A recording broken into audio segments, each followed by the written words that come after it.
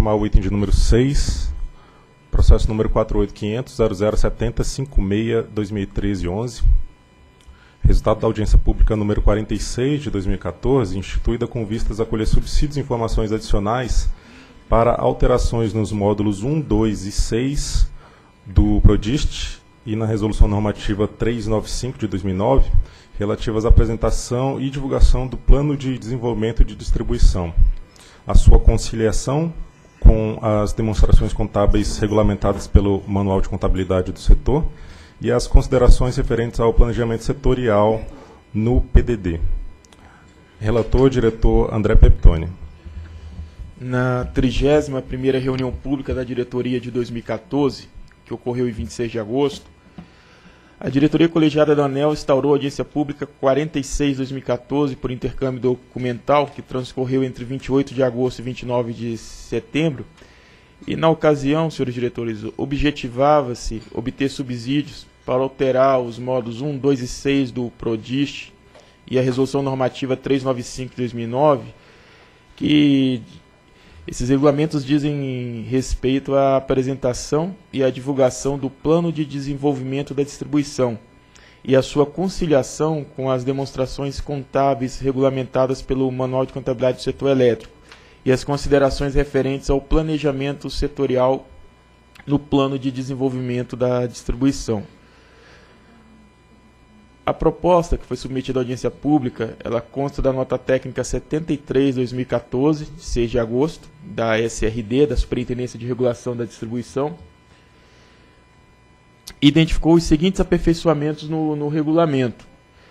Primeiro, adequa adequações a, na estrutura de dados do plano de distribuição, de desenvolvimento da, da distribuição e conciliação com os demonstrativos contábeis, ou seja, o, o plano de desenvolvimento da distribuição tinha que estar aderente ao, aos demonstrativos contábeis, deixar isso de forma mais transparente e objetiva. Depois, a divulgação das informações é, do plano de desenvolvimento, que a gente julga que essa divulgação do plano está insuficiente, e estamos aprimorando agora com esse regulamento diante das exigências que passam a ser feitas e também aprimoramento na participação das aprimoramentos na atuação, né, na participação das distribuidoras no estudo de planejamento setorial. E consideração no planejamento apresentado pela distribuidora no plano de desenvolvimento, ou seja, o plano de desenvolvimento ele tá, tem que estar aderente com, com, plane, com o planejamento setorial, não, não se espera coisa diferente. E em relação à adequação na estrutura de dados do plano de desenvolvimento da distribuição e conciliação com os demonstrativos contábeis das distribuidoras, a Superintendência de Regulação da Distribuição identificou a necessidade de uniformizar as informações prestadas pelas distribuidoras ao órgão regulador.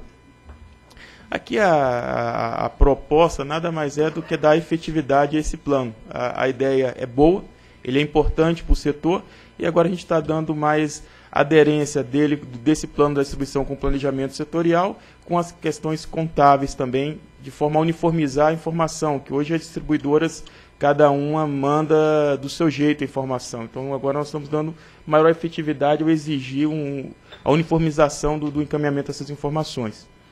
E foi proposto alterar também, senhores diretores, a data de envio desse plano de desenvolvimento para 30 de abril do ano subsequente, e isso permite conciliar a data de envio dos dados à ANEL com o recebimento das demonstrações contábeis, que tem que estar aderente às duas informações e permite facilita o trabalho de fiscalização da agência de, da área com a área econômica e financeira.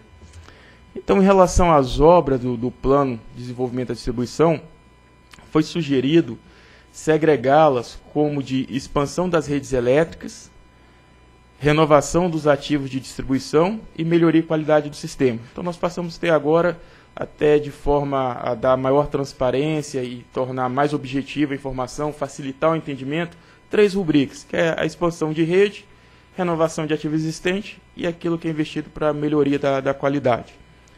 Adicionalmente, as obras deveriam ser classificadas em obras do programa Luz para Todos, e obras com participação financeira de terceiros e obras vinculadas ao planejamento setorial.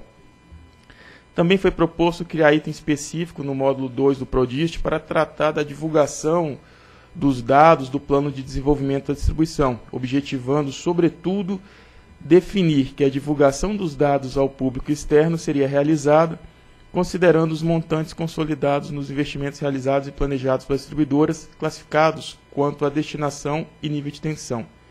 Informações detalhadas por obras, tanto as realizadas quanto as planejadas, não seriam divulgadas ao público externo. E outro aspecto submetido à audiência pública foi incluir também, dentre as responsabilidades da distribuidora já prevista no módulo 2, a participação nos estudos do planejamento setorial e a consideração desses no planejamento. Para tanto, foi proposto alterar o módulo 2 e o módulo 6 do Provist, visando incluir as obras definidas no planejamento setorial nos itens relativos à previsão de demanda e planejamento da expansão do sistema de distribuição. As contribuições encaminhadas na audiência pública 46/2014 foram avaliadas e consolidadas pela Superintendência de Regulação da Distribuição e constam da nota técnica número 9 de 10 de março de 2015, é o relatório. Procuradoria. A Procuradoria vistou a minuta de resolução normativa, a qual está em condições de ser deliberada pela diretoria. Esse trabalho, senhores diretores, ele se insere dentro daquela premissa da diretoria do ano de 2014, aquela sinalização que demos para as áreas técnicas, de avaliar os regulamentos existentes e privilegiar a clareza e a simplificação. Então aqui é o nesse rol que se insere, eh, nesse contexto que se insere esse processo. E a audiência pública 46, ela recebeu 44 contribuições caminhadas por 12 participantes. Os detalhes e o exame de cada contribuição constam da nota técnica da SRD de do, número 9, e ela se, se compõe da, da seguinte forma. Foram aceitas 14 contribuições, ou seja, 31,80% do universo, Parcialmente aceita três contribuições, não aceita 27, o que totaliza as 44. E a seguir vamos sintetizar o resultado da análise da SRD, que foi estruturando o voto em quatro temas. Primeiro, a definição do termo planejamento setorial no glossário do módulo 1 do PRODIST. Depois, a conciliação do, do plano de desenvolvimento da distribuição com os demonstrativos contábeis. Depois, vamos abordar a divulgação do plano, que é importante, eu acho que é o, o grande mérito aqui dessa instrução é a questão dessa divulgação. E, por último, tratar do aprimoramento da participação das distribuidoras nos estudos de planejamento setorial e, e consideração no planejamento apresentado pela distribuidora, também no PDD, que é outro aprimoramento que reputo de grande importância.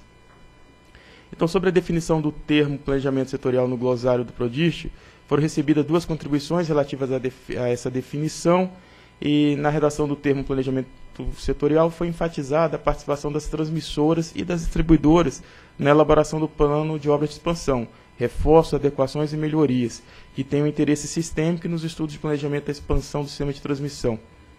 Como resultado da definição, ficou da seguinte forma é que eu repercuto o texto. Então, o que é esse planejamento setorial? O planejamento setorial entende-se o plano de obras de expansão, reforço, adequações e melhorias nas instalações de transmissão, que tem um interesse sistêmico, divulgado pelo Ministério de Minas e Energia, com base nos estudos do Plano de Ampliação e Reforço, o PAR, e do Planejamento da Expansão do Sistema de Transmissão, elaborados pelo Operador Nacional do Sistema e pela Empresa de Pesquisa Energética, com a participação das transmissoras e das distribuidoras. Sobre a conciliação do plano com os demonstrativos contábeis, temos que foi identificada a necessidade de se aprimorar o regulamento visando a convergência das informações prestadas pelas distribuidoras ao órgão regulador no tocante à demonstração contábil. É o que eu coloquei. A gente tenta facilitar, tornar, além de privilegiar a transparência, tornar objetiva a informação que deve ser a mesma. Tanto o que foi feito a título a título de, de, de, investimentos, né? então tem que ser apresentado também como demonstrações contáveis pelas distribuidoras. A informação, tanto lá como cá, tem que ser a mesma, e é isso que se privilegia nesse regulamento. A revisão, então, no Manual de Contabilidade, aprovado em 2015, define algumas informações de apresentação compulsória para os agentes de distribuição, incluindo a evolução e a projeção dos investimentos e o comparativo entre os investimentos realizados e o planejado em máquinas e equipamentos de distribuição. E para conciliar a data de envio dos dados para a ANEL, esta será alterada para a mesma de recebimento das demonstrações contábeis, de novo, tendo em vista que a informação é a mesma, então são apressadas na mesma data, 30 de abril. Isso facilita ANEL, o trabalho da ANEL e facilita também o, trabalho, o estudo, as informações que a gente deve prestar. E com efeito, a, a redação do artigo 6 da Resolução 395 de, de 2009, do item 2.1 da seção 2.3 do PRODIST e as tabelas do item 3.7 devem ser alteradas 3.7 e 3.8 do módulo 2 do PRODIST foram alterados para segregar as obras constantes do PDD em três classificações. Então, era aquelas que mencionava, que era expansão de rede, renovação de ativo e melhoria.